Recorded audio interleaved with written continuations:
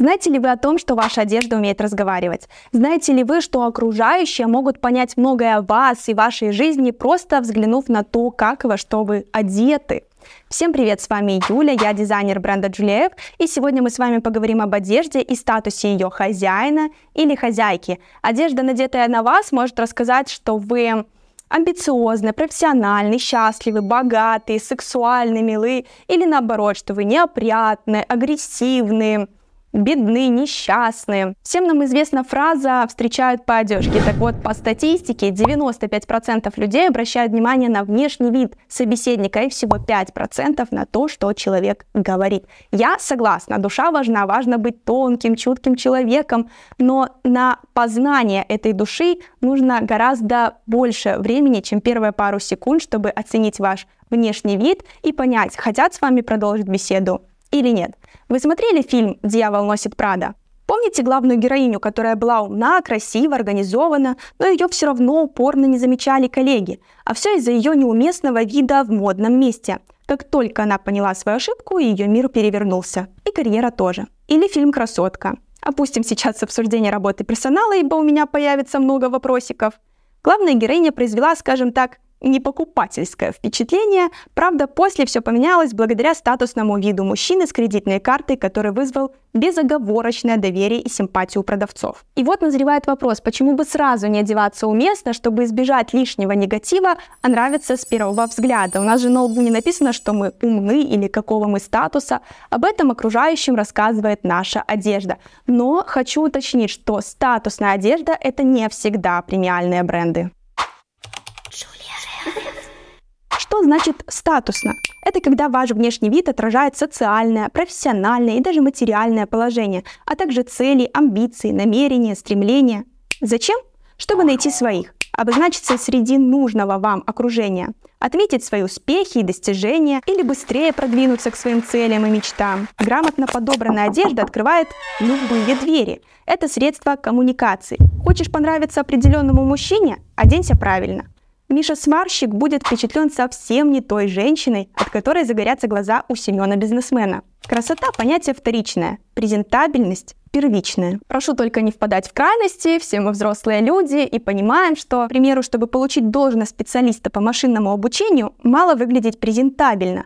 Профессиональный опыт никто не отменял. Речь о том, что при прочих равных выберут именно максимально презентабельного и уместно одетого человека, потому что он будет вызывать более приятные эмоции и располагать к себе в том числе одним своим внешним видом. Чтобы подчеркнуть статус, можно носить одежду любых марок. Главное – хороший вкус, гармония, посадка по фигуре, современные фасоны, качественные аксессуары и грамотно зашифрованные во всем этом послание. Умея выбирать и сочетать вещи и аксессуары, можно добиться того, что ваша одежда будет выглядеть на вас в разы дороже, чем стоило. Просто купить дорогих вещей не панацея. Есть тысяча примеров, когда одетые дорого люди выглядят жутко, безвкусно и дешево. И наоборот, кто-то умеет носить масс-маркет так, что хочется повторить каждый комплект. Но есть и окружение, примыкая к которому изо всех сил масс-маркет не прокатит. Для этого и был придуман люкс, чтобы сразу было видно ваш уровень достатка и благополучия. Многие женщины-руководители понимают, что им нужны аксессуары достойного бренда, потому что они не могут носить то же самое, что и их секретари и сотрудники.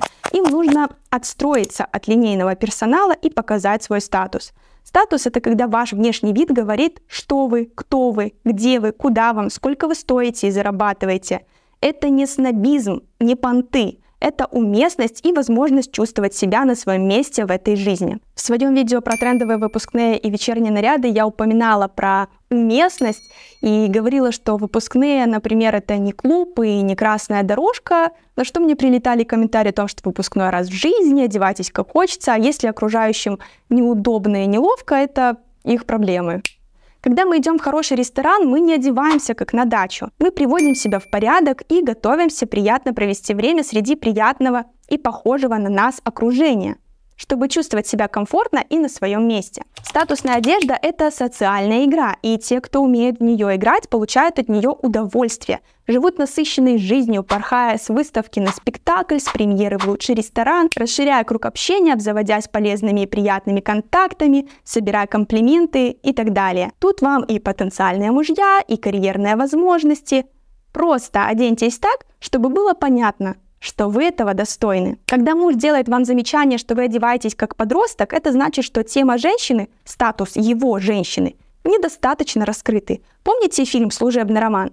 Так вот, там главная героиня одевалась статусно, согласно занимаемой должности, но ее статус как женщины, красивой, мягкой, желанной, был не раскрыт вовсе. И как все кардинально изменилось, стоило ей всего лишь переодеться в актуальные для того времени вещи и немножко подкраситься. Напоминаю, если вы хотите поддержать меня и мой развивающийся канал, вы можете это сделать по QR-коду на вашем экране, либо по ссылке в описании на Бусти, отправив любой донат. Существует несколько значимых признаков, по которым окружающие воспринимают статус на одежду. Это цена, силуэт, цвет, соответствие моде или актуальность, степень оригинальности, соответствие определенному стереотипу, уместность. Давайте разбираться с каждым из факторов. Цена.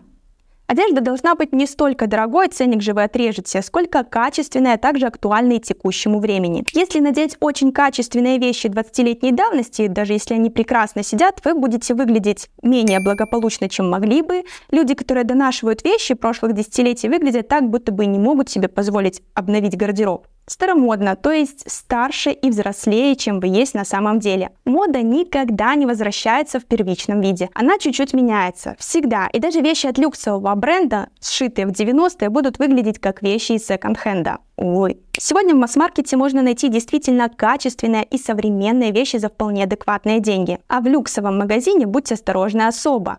Цена, к сожалению, не гарантирует то, что вы купите стильные вещи. Вы купите брендовые вещи, среди которых есть потенциально удачные и просто хлам, как и везде. Силуэт.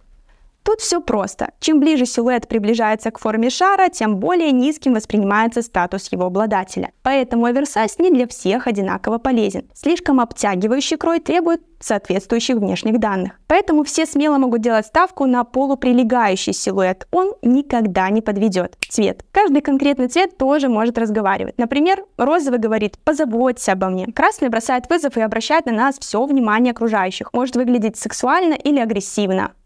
И так далее.